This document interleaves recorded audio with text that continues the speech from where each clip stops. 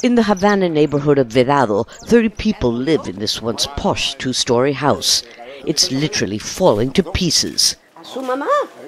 This resident tells me his mother was killed when one of these wooden beams fell on top of her. They let me take a quick look inside, where the makeshift staircase feels equally unstable. I've been living here since 1994, trying to get a proper dwelling, but there's nothing. Everywhere you look, homes built before the 1959 revolution are collapsing. Yet simultaneously, a construction boom is underway, not for public housing, but for hotels. Last year, eight enormous new hotels were inaugurated. Another five will be opened by December, and more will follow. The majority are owned and financed by Gaesa, the Cuban military's tourism company that owns 76% of five-star hotels and the majority of the rest. All this while Cuba's so-called economic engine continues to stall, as evidenced by these exquisite old convertibles standing idle in old Havana for lack of foreign tourists.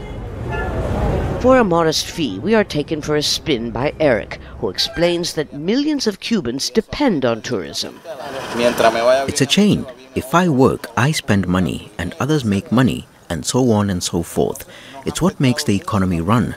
The prohibition of cruise ships imposed by Donald Trump has impacted us a lot, like his other sanctions.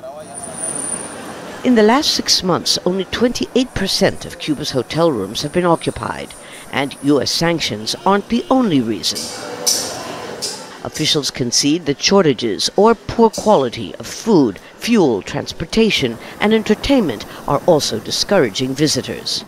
During the so-called golden years when President Barack Obama was in office, this whole area was absolutely full. Now, as you can see, the streets are empty. There are no tourists almost anywhere. So the big question is, why are they building so many new hotels? One clue is that while emblematic structures like the Art Deco Riviera Hotel remain closed, new hotels are being built with government money on property not being claimed in U.S. courts by their pre-revolution owners.